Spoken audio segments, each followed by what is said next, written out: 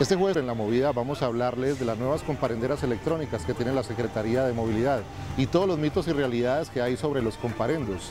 También vamos a contarles sobre los cierres viales y los trabajos que se adelantan para el nuevo tranvía de Ayacucho, uno de los pilares fundamentales del sistema integrado de transporte del Valle de Aburrá.